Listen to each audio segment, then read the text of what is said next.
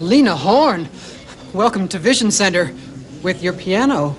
My piano player's lost his glasses. Hey, but fortunately, I have my prescription. Unfortunately, we have to be on stage in one hour. If you can make his glasses in time, I'll sing your favorite song. We give one hour service in many cases, but it depends on the prescription.